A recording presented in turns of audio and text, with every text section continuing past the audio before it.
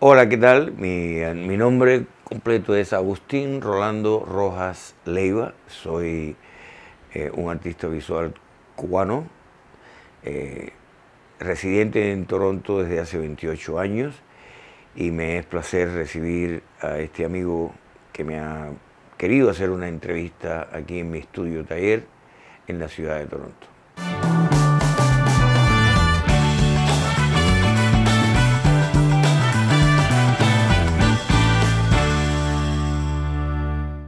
Eh, mi formación profesional comenzó en el año 74 en la ciudad de La Habana, en la Academia de Artes Visuales San Alejandro, una de las ah, más antiguas academias de, de Sudamérica. Y allí terminé en el año 78, eh, me fueron impartidos todos los cursos, eh, grabado, pintura, diseño, historia del arte, todas esas cosas que son vitales en la formación. Y en el año 78, habiendo terminado esta academia, pues me, gané la oposición para entrar como estudiante universitario en el Instituto Superior de Arte de La Habana, 1978-1983. Y me voy allí como eh, para para trabajar básicamente cinco años como especialista de grabado y salgo de allí en el, en el 83 y comienzo a trabajar como profesor universitario en esta institución en el año 85. Así que he tenido el privilegio de ser profesor de muy, muy importantes grabadores cubanos que están fuera o dentro de Cuba y ellos también han sido profesores de otras generaciones de artistas cubanos que están hoy en muchos otros lugares, entre ellos México.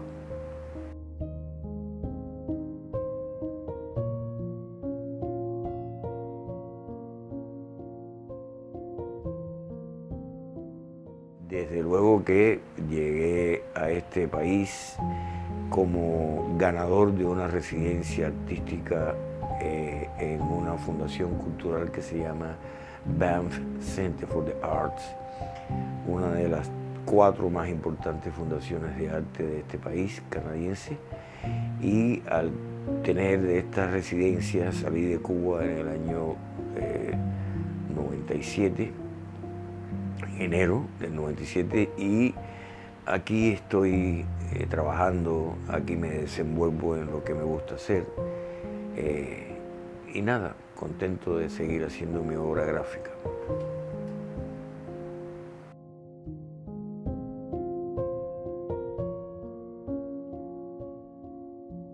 Básicamente me, he hecho eh, una disciplina dentro del grabado calcográfico. Eh, exploro las posibilidades de, esta, eh, de este procedimiento por supuesto conociendo los otros, pero hay un detalle muy importante y creo que es eh, mi formación académica. Eh, trato por todos los medios de incorporar toda esa formación. Por ejemplo, me gusta dibujar, eh, me, gusta, me gusta bastante hacer acuarelas y, y todas estas cosas que son procesos de aprendizaje han significado mucho en mi, en mi trabajo como, como grabador.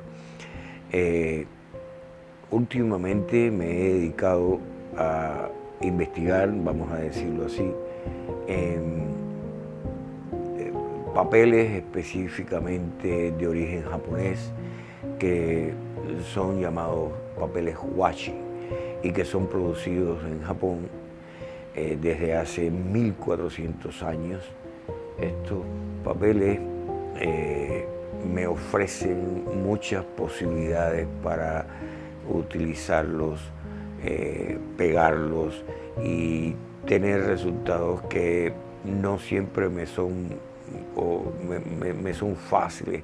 Mirarlos con la óptica de imprimirlos en un papel blanco. Eh, también me he dedicado por muchos años a investigar sobre los fenómenos llamados bienales internacionales de grabado. Eh, he ganado el premio Iván Miró en el año 95 y nada, me, fascina este tipo de trabajo que hago y que comparto también con muchas personas allegadas que están dentro de este mundo del grabado y que ya me conocen de hace muchos años.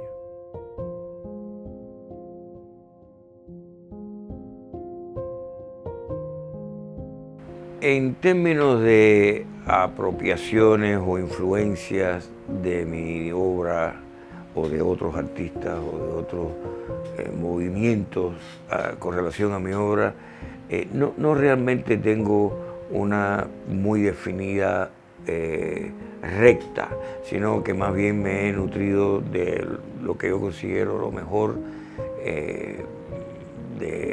el expresionismo abstracto americano, norteamericano. Me he nutrido mucho de un famoso acuarelista norteamericano que se llamó Andrew Wyeth.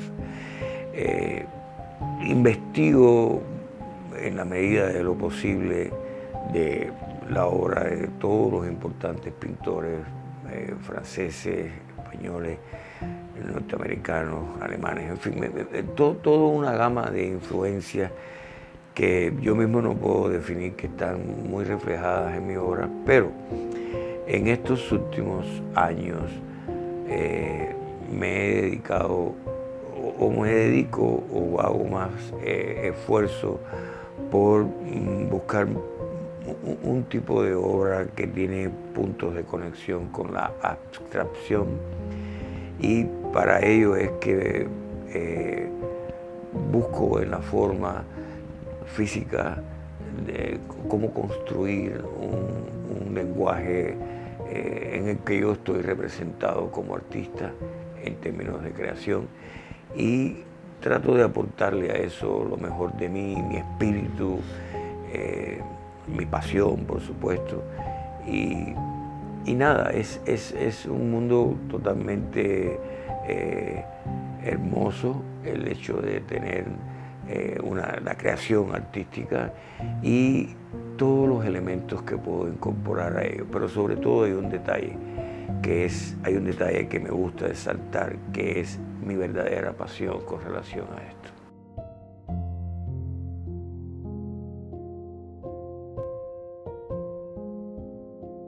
Las obras en blanco y negro que he impreso, bien sean pequeñas o grandes, tengo obras de, hasta dos metros, eh, van sufriendo una transformación en el, tiempo en que las estoy creando. Eh, muchas veces eh, las dejo respirar, las dejo, las dejo un tiempo y hay hay un momento en el que las vuelvo, a trabajar, sean o no figurativas. Esta opción de imprimir o de ver la imagen blanco y negro también me da o me ha dado la opción de alternarla con, color y para mí el color es también un, misterio, el color también es parte de mi formación y cuando logro tener, eh, digamos que la empatía con la obra, me, enamoro de la pieza, pues llega un momento en el que hallo que un pequeño detalle de color le da un significado diferente y, eso es lo que me agrada de estas cosas que yo llamo eh, color chincole en papeles japoneses.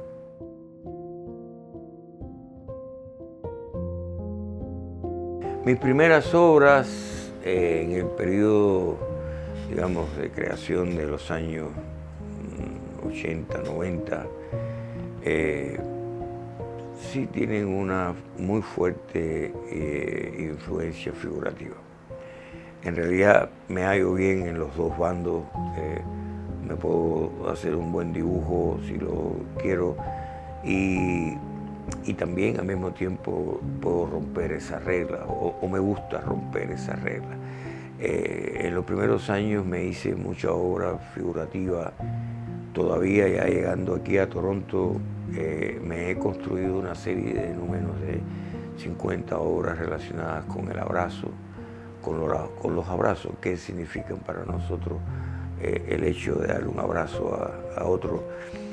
Y simultáneamente eh, también hago una obra un poco, o estoy haciendo una obra un poco más eh, expresionista, digamos, una, obra con mucho más contenido de gráfica, de sugerencia, eso me encanta, como el lenguaje de, creación me permite hacer, eh, hacer una sugerencia al espectador para que empiece a, cuestionarse cómo, voy creando.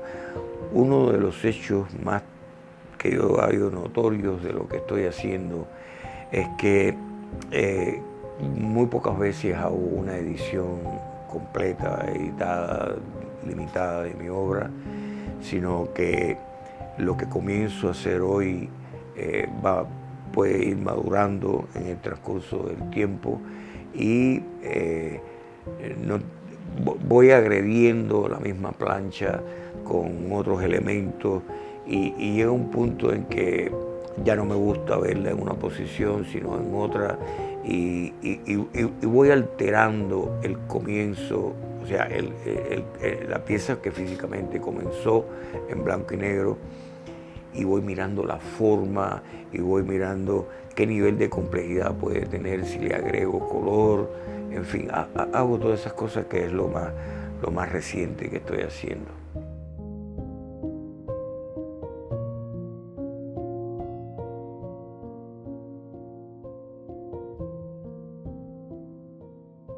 En la vida de un artista hay muchas veces que te encuentras que una obra tuya eh, ha ha expresado en buena medida lo que has querido hacer. Y ese es el caso de uno de mis grabados premiados que se llama, o sea, yo, yo titulé eh, de esta serie de los abrazos eh, El último minuto, eh, The Last Minute Hawk. O sea, The Last Minute Hawk es ese abrazo que nos hemos dado todos no importa cuál nacionalidad tengamos, que eh, nos hemos dado todos en un aeropuerto. Ese momento de despedida que uno no sabe si vas a regresar o no, que tienes que eh, despedirte de tu amigo, de tu mamá, de tu papá. Eh, esa espiritualidad de concebir una imagen y, lograr ese objetivo eh, para mí es muy, pero que muy importante, porque estás dando tu, corazón, estás, estás eh, diciéndole al otro que esta es la forma en que eh, tú quieres ser conocido.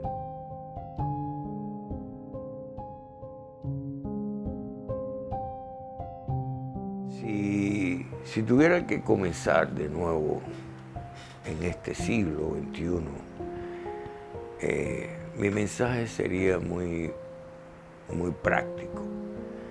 El siglo XXI nos ha legado una pandemia por el medio, hemos sido víctimas todos de procesos súper complejos, eh, socialmente, políticos, eh, en todos los órdenes. Hemos perdido familias, seres humanos.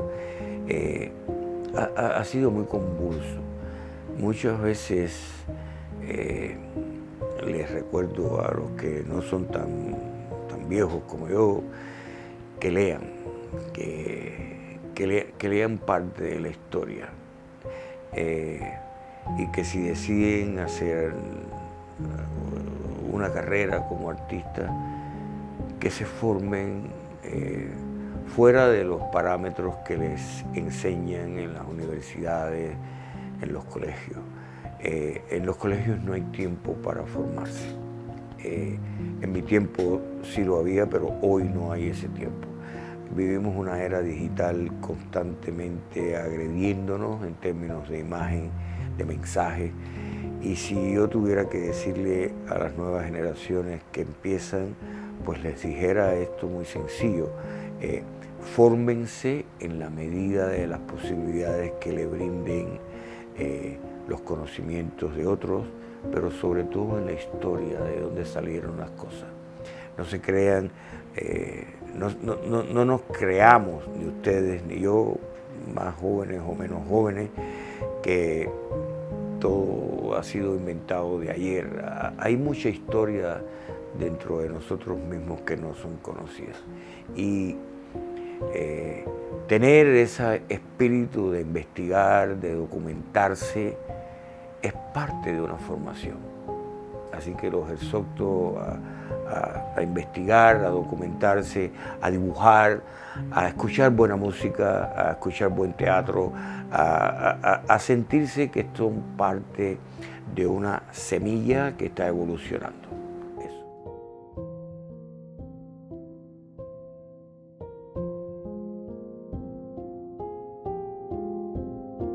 El arte visual es un, es un fenómeno, como pueden ser otras disciplinas del arte, como ver un cine, un buen cine, un buen teatro o, incluso una buena pieza musical. Eh, como es de, esperar, eh, las, las alternativas que se han establecido los artistas jóvenes no tan jóvenes como en mi caso, han sido muy disímiles. Nosotros estamos viviendo eh, el comienzo de un siglo y no necesariamente el arte visual, por lo menos que yo estoy viendo, valga que sea fotografía o sea cualquier otra expresión, eh, está muy diversificado.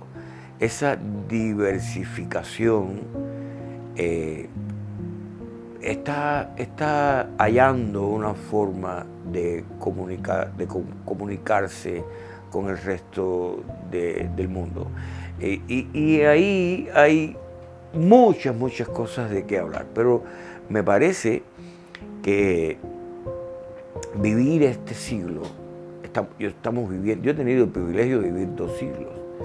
Estuve viviendo el 19, o sea, el 20, y estoy viviendo el 21 y, yo lo veo como un ciclo. Por eso tengo una serie que se llama así, son círculos y hay un ciclo. Estamos dentro del eje del círculo y estamos fuera del eje del círculo. Eh, eh, hay mucho de qué hablar y mucho de qué comentar, pero lo más importante es que hemos sobrevivido este tiempo haber sobrevivido toda la convulsa que hay en todos los órdenes del conocimiento, del aprendizaje, del saber, de nuestra vida como artista, eh, es un fenómeno extraordinariamente humano y cada persona ha ido evolucionando en la medida de sus posibilidades. Para mí eso es un hecho de, muy, de mucha importancia en este siglo.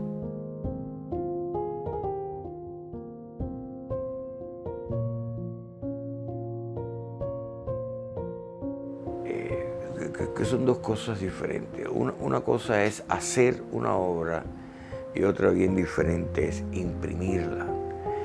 Y cuando tenemos, bueno, en mi caso, de muchos de los que me van a escuchar, cuando tenemos las dos cosas, cuando tenemos el oficio de hacer y el oficio de imprimir, pues tenemos que buscar un balance, porque ni, ni una cosa va más adelante que la otra. El que tiene perdón, un buen hacer, pues necesita una buena impresión y muchas veces esas cosas no, no son del todo comprendidas.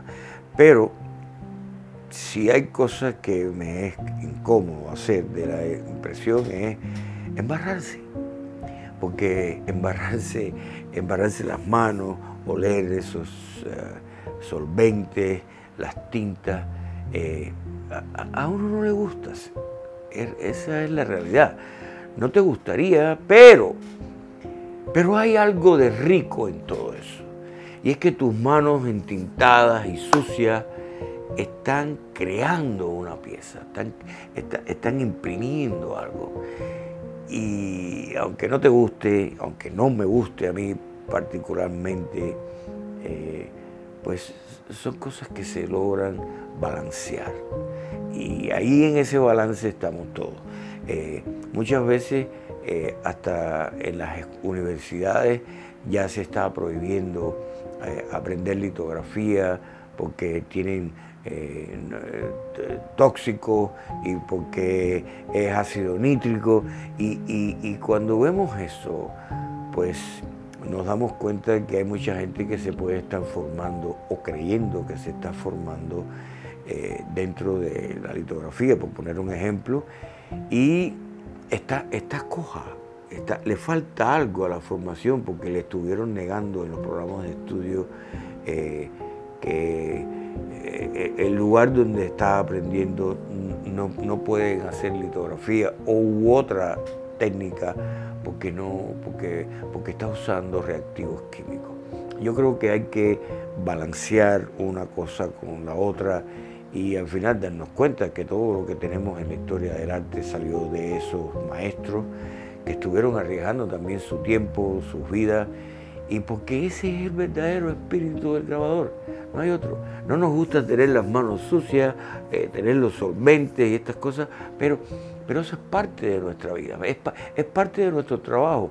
Y aunque no nos guste, pues eh, tenemos que entender que, que nos hace la vida agradable.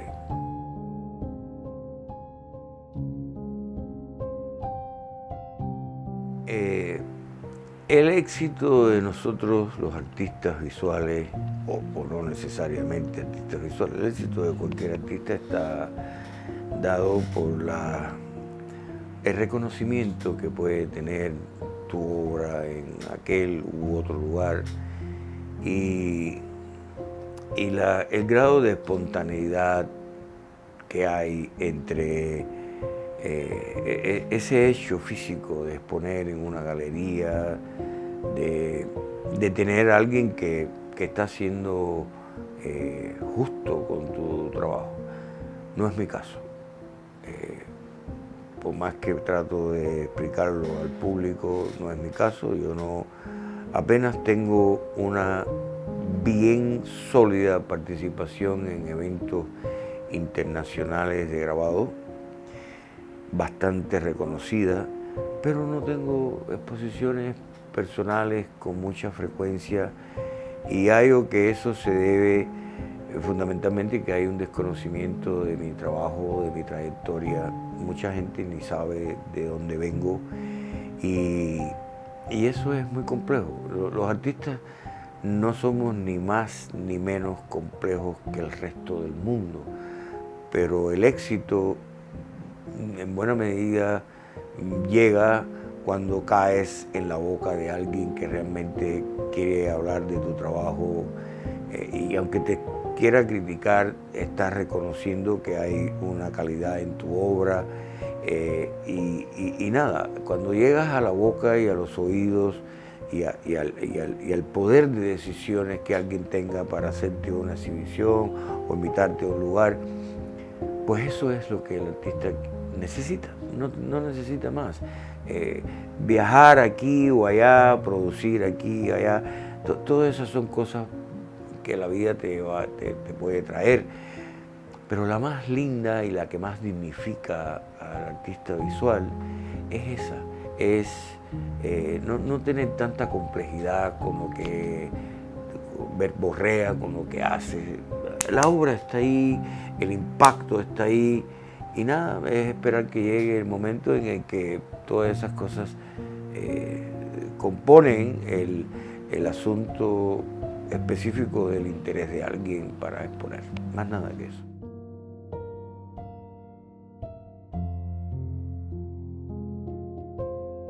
En este momento eh, tengo muchas ideas que voy encaminando poco a poco en la medida de mi, tiempo y mis posibilidades. Pero me interesa mucho, mucho, mucho eh,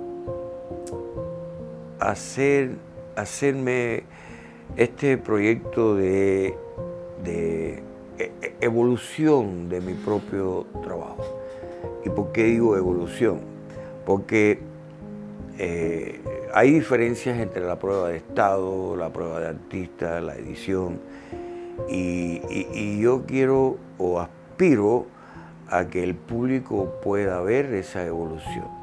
Las personas que no conocen el lenguaje nuestro de, gráfica, pues no, lo pueden entender. Eh, comenzar una pieza, el basamento de todo esto me vino una vez a mi mente por aquella famosa litografía de la tauroma de, de, Picasso, creo que son 16 estados diferentes de, un toro.